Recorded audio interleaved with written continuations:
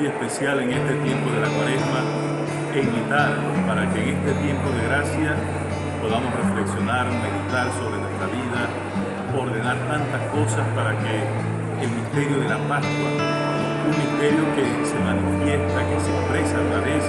de la vivencia de la misericordia a la que el Papa nos ha llamado durante este año, siga floreciendo en nuestras obras, en nuestra actitud, en nuestros sentimientos. Que este tiempo de la cuaresma sea un tiempo de verdadera conversión,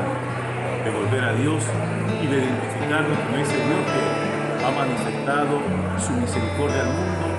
a través de las obras, a través del sacrificio, muerte y entrega de su Hijo, y que sigue manifestándolo a través de la misericordia de nuestro pueblo. Que el Señor nos conceda la gracia de purificar nuestro corazón y hablar siempre de Dios a través de las